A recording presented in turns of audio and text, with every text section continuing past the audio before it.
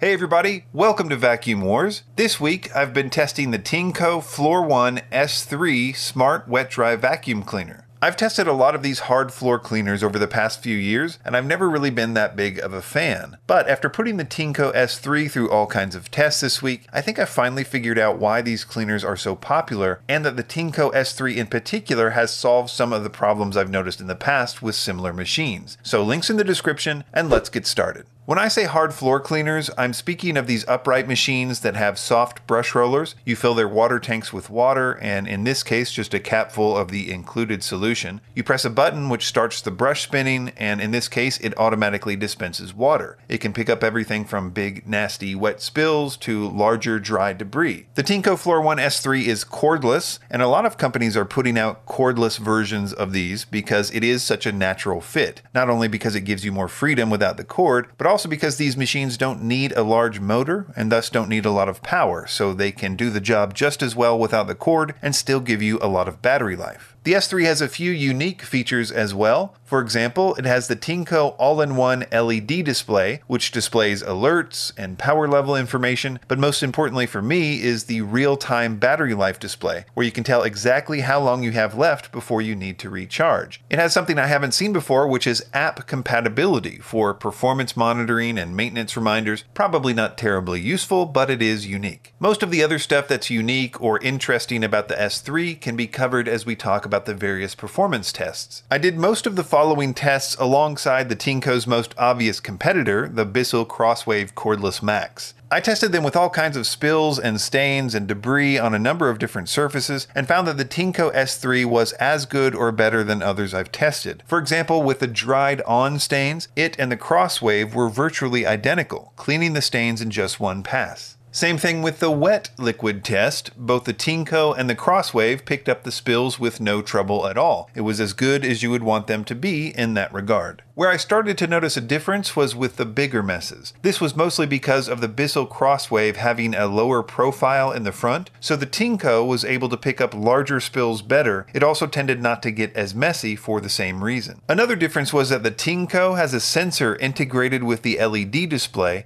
and when it's in auto mode, the sensor automatically increases the brush roll speed and the suction power if it senses you're vacuuming larger messes, and it will show the increase in power using the dirt monitoring loop. This is contrasted with the Crosswave, which has just the one power setting. Speaking of the power, I tested their suction power in a couple different ways, and the Tineco S3 did have more suction power than the Crosswave in both tests, but I have to say it wasn't something I really noticed in the pickup tests. As I said, they seemed really similar. I suppose the higher suction power on the Tineco could affect drying times, which is something that Tineco advertises as being good with the S3, and it did seem to dry very quickly, but I didn't really have a chance to test or compare that thoroughly. Another important thing is the battery life. The S3 has a pretty large battery compared to their previous offerings, and they claim it can get 35 minutes of runtime, but that can vary depending on how much the auto mode decides to increase the suction. I tested it by seeing how many times I could clean my 182 square foot room in auto mode, and I was able to clean the room 12 times in 20 minutes until it got to 50% power, where I stopped because I was tired that day. Sorry, science. But if the second half was the same as the first, it would mean that I could clean the room 24 times in 40 minutes, which works out to a whopping 4,368 square feet per charge. I also would have used about two tanks of clean water. So, all that's really good, but there were two main things this week that convinced me to change my mind about these hard floor cleaners. The first is that I finally figured out where these things fit in the vacuum cleaner world and which type of customer would most benefit from them. For example, if you have mostly hard floors in your house, with maybe a few rugs here and there, and you're really just looking for a way to vacuum and mop your floors at the same time, but are not really interested in this for mopping big messy spills, the Tineco S3 is amazing. The big thing is that it's a hard floor vacuum at the same time, and because of that soft roller, it's a particularly good hard floor vacuum. So you can vacuum and mop your floors at the same time, which means you cut your floor cleaning time in half. Most of the super positive reviews I've read about this were people using it just this way, as a vacuum mop combo for homes with mostly hard floors. Because why do two things when you can just do one thing and have it be just as good, if not better than both? The other thing that changed my mind about these is the cleanup process. The reason I've not really liked these types of cleaners in the past is because when you mop up big spills, it takes longer to clean the machine afterwards than it would have just to pick up the spill by other means. There's just a lot of nooks and crannies in the machine that you need to pay attention to and clean, and that's important, especially if you're vacuuming up SpaghettiOs or something. Recently, though, manufacturers have been getting better with the cleaning cycles in the software, where you set it on its base, make sure there's water in the tank, and push a button. It then goes through a process to clean its brush and, to a certain extent, other areas of the machine. The Tineco S3, in addition to cleaning the brush and the area behind the brush well, it also included a mode to flush the internal plumbing, which it did twice. I did before and after shots after the really messy pickup tests and after the light duty cleaning of my house. Long story short, the S3's automated system was the best I've seen yet, and while I still would double check it and wipe it down a little if I was cleaning up SpaghettiOs just to be safe, if you're just using it to mop your house without big spills, the cleaning cycle should be all that you have to do, which takes away the last barrier I had with recommending these machines. As far as the negative things that I noticed, the first thing would be the auto mode with the sensor that adjusts the suction was not very sensitive, so it took a pretty chunky mess for it to really kick in and increase the suction. But on the other hand, I didn't really mind that because I would prefer it not to be sensitive because I don't really see much of a benefit in more suction power anyway, and because I would prefer the longer battery life.